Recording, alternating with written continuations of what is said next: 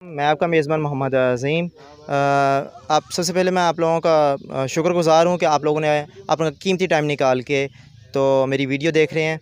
तो इस टाइम मैं आपको एक ऐसी जानी मानी हँसी से आपका तारफ़ करवाता हूँ कि जिनकी दो माह पहले वीडियो वायरल टिकटॉक पे वीडियो वायरल हुई और आज हम उनके साथ, उनके आबाई गाँव खोखर में मौजूद हैं। और जैसा कि आप लोगों ने पहले भी देखा कि जितने भी स्टार थे, जितने भी यानी के लोग थे, उन्होंने उनका इंटरव्यू किया। तो आज हम भी उनका इंटरव्यू करने के लिए उनके आबाई गाँव खुखरवाली में उनके साथ मौजूद हैं। तो आइए चलते हैं हम उनकी तरफ़ और उनसे पूछते हैं कि उनको खुखरवाली, उनका आबाई गाँव है और नारवल में उनका जो है ना आना कैसा उनको लगा है। जी अलैक्म जी, बिल्कुल, ये मेरा भाई गाँव है खोखर, जो कि नारवा के पास है। और यहाँ पे आके बड़ा मज़ा आता है, क्योंकि मेरे फादर यहीं पे स्कूल पढ़े हैं, मेरी मदर भी यहीं स्कूल पढ़ी है, और यहीं उन्होंने बचपन गुजारा है। और हम बचपन में जब जिस टाइम पे पाकिस्तान रहते रहे हैं, कुछ कम अरसे पाकिस्तान रहे हैं तो हमेशा गर्मियों में, छुट्टियों में आते थे, यहाँ पर इन्जॉय करते थे। गाँव में ओबियसली खुली हवा है और बड़े अज़ीज़ काफ़ी अभी भी काफ़ी का, अभी भी काफ़ी अज़ीज़ रहते हैं मेरे यहाँ पर। मामू मेरे के बच्चे रहते हैं और चचा मेरे रहते हैं उनके बच्चे रहते हैं कुछ और भी अज़ीज़ काफ़ी रहते हैं। तो जब भी आते हैं उनसे मिलकर बड़ी खुशी होती है। साल में जब भी पाकिस्तान आते हैं हम तो कोशिश करते हैं कि गाँव में चक्कर लगे क्योंकि भाई हमारे भाई कब्रिस्तान भी यहीं पर है दादा दादी नाना नानी तो उनसे उनके लिए फातह पढ़ते हैं और बाकी सब रिश्तेदारों से मुलाकात होती है और फिर जब ओबियसली गाँव में कुछ वक्त निकालते हैं अपनी ज़मीनों को देखने के लिए और लोगों से मिलने का बड़ा मज़ा आता है। तो ओबियसली बड़ी जानी सब लोग जानते हैं पहचानते हैं तो आकर बड़ा मज़ा आता है खुली हवा में फिरने का और यहाँ पे आके सबको मिलने का। आज से दस साल पहले आपको नारवल कैसा लगता था और आज दस साल बाद आपको ये नारवल में कैसी तब्दीलियाँ रोनमा नज़र आ रही हैं? जी बहुत ज़्यादा फ़र्क पड़ चुका है। नारवाल अगर आप शहर की बात करें तो वो बहुत ज़्यादा चेंज हो चुका है। पहले से बहुत बेहतर है सड़कें बड़ी हैं बहुत सारे ब्रांड्स आ चुके हैं और काफ़ी तरक्की नज़र आती है। तो देख के बड़ी खुशी होती है और हमारे नारोवाल नहीं, खोखर शहर में भी, खोखर गाँव में भी सड़कें बन चुकी हैं, बड़ा आसान हो गया है। अब ओबियसली टांगों का दौर ख़त्म हो चुका है और गाड़ियाँ हर जगह ईजी जा सकती हैं। तो बड़ा अच्छा लगता है देख के कि यहाँ भी काफ़ी तरक्की हुई है स्पेशली नारोवाल में तो बहुत ज़्यादा तरक्की हुई है और बहुत बिज़नेस लोग कर रहे हैं, अच्छे बिज़नेस कर रहे हैं। तो देख के अच्छा लगता है और मज़ा आता है। सर, आप फैमिली के साथ नारवल आए हैं कि यहाँ अकेले आए हैं? और भाभी को ये जो हमारा दही माहौल है, ये कैसा लगा? है जी नहीं इस इस बार मैं अकेला ही आया हूँ। दो हफ़्ते, दो तीन हफ़्ते पहले मैं आया था बच्चों के साथ लेके, बीवी और बच्चे साथ थे। तो बहुत इन्जॉय किया था उन्होंने। तभी भी था उनका इरादा आने का, लेकिन कल कुछ तबीयत उनकी नासाज थी मेरे बेटे की तो इसलिए बच्चे और बेगम नहीं आई, मैं अकेला ही आया हूँ। तो बहुत इन्जॉय करते हैं आकर, बच्चों ने बहुत इन्जॉय किया था, बेगम ने बहुत इन्जॉय किया था, हमने भी बहुत इन्जॉय किया था और सब रिश्तेदारों का पुरजोर सरार थी कि हम दोबारा फिर से चक्कर लगाएँ। तो इसलिए आज दोबारा और प्लस मेरी ख्वाहिश थी कि मैं इस मस्जिद में नई मस्जिद जो है नुसरत साहब की, उसमें जुमा पढ़ूँ। तो वो अलहमदिल्ला जुमा पढ़ा वहाँ पर और काफ़ी लोगों से मुलाकात हुई है जिनसे लास्ट टाइम मुलाकात नहीं थी हो सकी। तो यही मकसद था इस बार दोबारा आने का। सर, क्या आप बताना पसंद करेंगे कि आपकी फ़ैमिली जो मेंबर हैं वो कितने हैं? जी, बिल्कुल मेरी इस बेगम के साथ, जो कि सबको पता है कि मेरी चौथी बीवी हैं तो इनके साथ मेरे चार बच्चे हैं अलहमदिल्ला छोटे ही हैं, छोटा बेटा मेरा दो साल का है, फिर बेटा मेरा पाँच साल का है, फिर सात साल का और बेटी मेरी आठ साल की है। तो चार बच्चे हैं अलहमदिल्ला सभी आए थे, सबने बड़ा इन्जॉय किया था यहाँ पर। आपको पाकिस्तान में इतना, आप लोग, आप पाकिस्तान में आए हैं और इतना फ़ेमस हो गए हैं चंद दिनों में तो आप पाकिस्तान के लिए कुछ करना चाहते हैं? क्या कर, करना चाहते हैं आप यहाँ पे?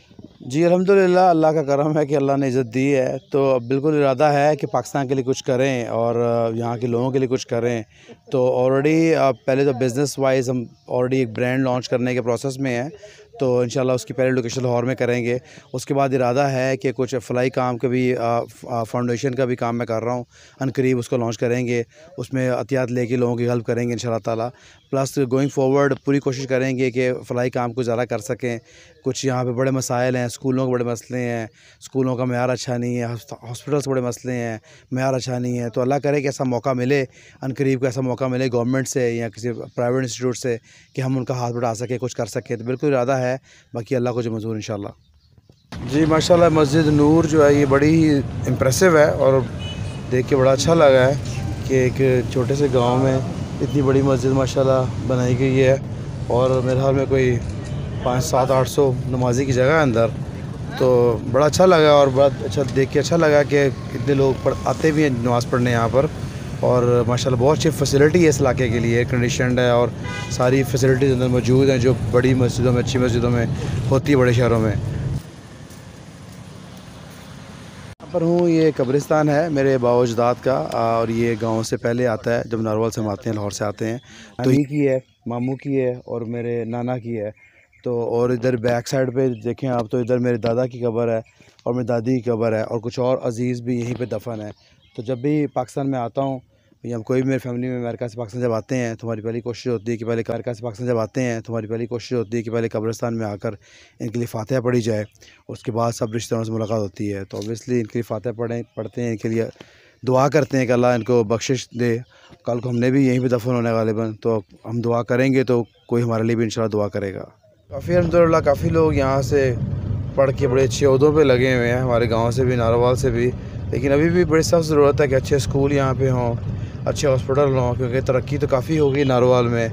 बहुत सारी चीज़ें आ गई हैं, ब्रांड्स आ गई हैं, सड़कें अच्छी बन गई हैं, अच्छे रेस्टोरेंट्स नज़र आते हैं, सब कुछ बन गया है। लेकिन स्कूलों की हालत अभी भी शायद बहुत अच्छी नहीं है कुछ अच्छे स्कूल हैं हैं, लेकिन जितनी आबादी है, उसके मुताबिक इतने अच्छे स्कूल नहीं हैं, और हस्पताल वगैरह भी उतने अच्छे नहीं हैं। तो डेफ़िनेटली ये चाहिए, अभी और काम यहाँ पर दरकार है, और अल्लाह करे कि करीब और ज़्यादा फैसिलिटीज़ आएँ, ताकि लोग उससे जो है फ़ायदा उठा सकें। अभी भी बहुत सारे मामला ऐसे होते हैं कि कोई बीमार ज़्यादा होता है तो हॉस्पिटल वाले नहीं टैकल कर पाते वो कहते हैं, लाहौर ले जाएँ।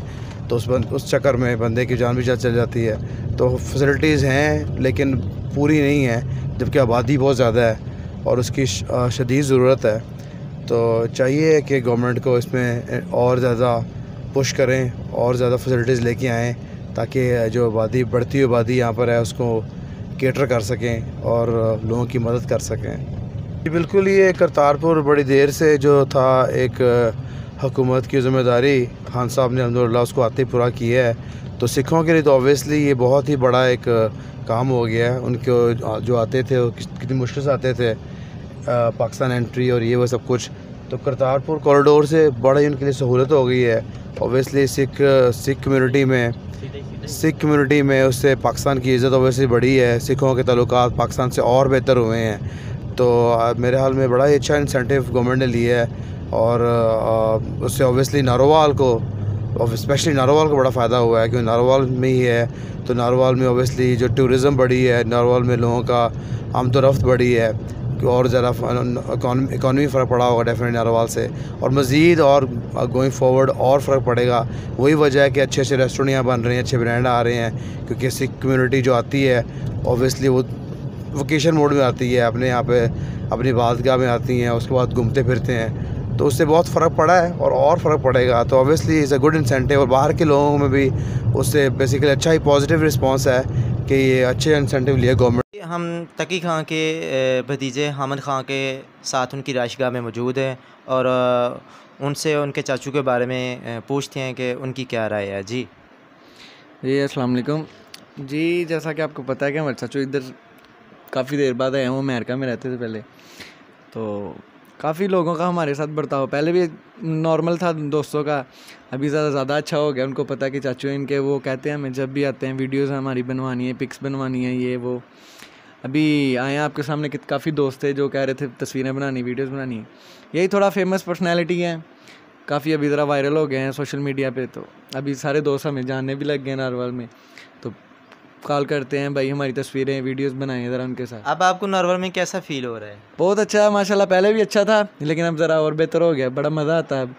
रोड से गुजरे उधर से जाएँगे वो तो काफ़ी दोस्त कहते हैं कि यार हमें कि आप रोड से रोड पे बाहर निकलते हैं तो लोग आपको आपको चाचू की वजह से यानी कि और जान पहचाना बिल्कुल बिल्कुल वो कहते हैं कि हमें भी मिलवाएँ उनसे फिर वो जब आते हैं इधर नारवाल फिर हम उनकी मुलाकात भी करवाते हैं। जी, इस टाइम हमारे साथ आमिर ख़ान, अल मरूफ़ तकी लाहौरी हमारे साथ मौजूद हैं। तो उनसे सवाल करते हैं, पूछते हैं उनका कि उनका आबाई गाँव कौन सा है, जो आज तक किसी ने भी सोशल मीडिया पर उनसे सवाल नहीं किया। तो मैं पूछता हूँ कि उनका आबाई गाँव कौन सा है? जी, नारोवाल से बिलोंग करते हैं मेरे पेरेंट्स और ये खोखर गाँव है हमारा, जहाँ खड़े हैं हम लोग। तो यहीं पे मेरे फादर स्कूल पढ़े हैं अमृतसर से मूव हुए थे। मेरी मदर भी यहीं बॉर्न हुई हैं और यहीं पे स्कूल पढ़ी हैं। तो सर आपने अपनी इब्तदाई तलीम कहाँ से शुरू की? हम लोग शारजा में रहते थे जब मैं छोटा था सेकंड क्लास से। सेकंड से एट ग्रेड तक शारजा यूएई में पढ़ते रहा हूँ। उसके बाद नाइन टेन एलेवन ट्वेल्व में लाहौर से किया। तो सर इस टाइम आपकी क्या मसरूफियत हैं? कौन सा बिज़नेस आप कर रहे हैं अमेरिका में मेरा बिज़नेस है कंस्ट्रक्शन और रियल एस्टेट का। तो नए घर बनाते हैं बेचते हैं और रियल एस्टेट काम करते हैं। तो उसके अलावा पाकिस्तान में भी प्रोसेस में हूँ, कुछ एक और बिज़नेस शुरू करने के लिए।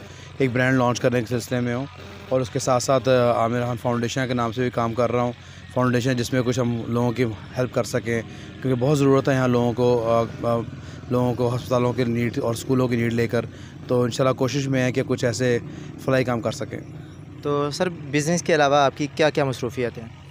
बिज़नेस के अलावा फैमिली टाइम ही देते हैं ज़्यादा से ज़्यादा ऑब्वियसली देने की कोशिश करते हैं और बस बिज़नेस और घर और फैमिली और कुछ भी नहीं है। सर ये जब से आपकी वीडियो वायरल हुई है तो इस वीडियो की वजह से काफ़ी सारे आपको नेगेटिव पॉइंट भी और पॉजिटिव पॉइंट भी फेस करना पड़े हैं। तो इसमें आपकी यानी कि क्या आपका कहना जी पॉजिटिव पॉइंट ज़्यादा हैं नेगेटिव से। तो जो पॉजिटिव उनके शुक्रगुजार हैं और जो नेगेटिव है उनको उनके बारे में कुछ नहीं कहा रहा था क्योंकि हर किसी को खुश नहीं किया रहा था। और बहुत सारे लोग ऐसे हैं जो अपनी ज़िंदगी से नाखुश हैं तो हर चीज़ देख कर उसको कोई ना कोई मनफी पहलू निकालते हैं। तो ऐसे लोग अनफॉर्चुनेटली हैं हमारे माशरे में तो उनको हम कुछ नहीं कर सकते बस इन्जॉय किया रहा था उनकी बातों को। तो सर ये क्या ये सच है कि ये आपके स्टूडेंट है? जी मेरी वाइफ मेरी स्टूडेंट रह चुकी हैं बिल्कुल। तो सर आपकी यानी कि इनके साथ मुलाकात कहाँ पे हुई थी? आ, ये किनालवी मेरे फादर का स्कूल था ग्यारह बारह साल पहले तो वहाँ पर मैं लाहौर में आया हुआ था। तो उनसे मुलाकात हुई और बस वहीं पे मैंने क्लास क्लास ऑफ़र की थी, उन्होंने ज्वाइन की। तो वहीं पे हमारी मुलाकात हुई अंडरस्टैंडिंग हुई तो फिर शादी कर ली। तो सर अब यानी कि ये, आपकी जो मैरिज है जो आ, आपकी वाइफ है उसको यानी कि बिल्कुल ठीक है आपकी यानी कि ज़िंदगी चल रही है। जी जी अलहमदिल्ला ज़िंदगी बड़ी अच्छी जा रही है इसलिए हम इतने ज़्यादा वायरल हुए हैं कि लोग समझ रहे हैं कि शादी जैसे रिसेंटली हुई है कल परसों हुई है पिछले माह हुई है लेकिन ऐसा नहीं है। शादी के हमारे दस साल हो गए हैं और अलहमदिल्ला बड़ी अच्छी लाइफ है हमारी। तो सर आज आप नारबल में आए हैं तो आपने यहाँ पे मस्जिद में खोखर में जुमा भी पढ़ा है और गुरुद्वारे का भी आपने विज़िट किया है अपने गाँव को भी विज़िट किया है। और ये सारा कुछ आप यानी कि यहाँ पे विज़िट करके जाए आपको कैसा लगा यानी कि यहाँ जी जी बहुत अच्छा लगा है। बहुत लोगों ने प्यार किया है। रिश्तेदार रहते हैं उनकी बड़ी ख्वाहिश थी कि हम आएँ और वापस आके मिलें उनसे सबसे मिलें। सबसे मुलाकात हुई है घूमे फिरे हैं गुरुद्वारे हम वहाँ भी गए हैं कारतपुर भी गए हैं और मस्जिद नूर का भी टूर किया है। माशा बहुत इन्जॉय किया है। जी सर थैंक यू सर बहुत बहुत शुक्रिया जी सर ये सुबह का लड़का हमारे साथ साथ घूम रहा है। इसके बारे में आप थोड़ा सा बता दें ये कौन है? जी मेरा भतीजा है मेरा। मेरे मामू के बेटे का बेटा है मेरे कज़न का बेटा है। तो इन्हीं के हम ठहरे हुए हैं इन्हीं के साथ रह रहे हैं। जी सर थैंक यू सर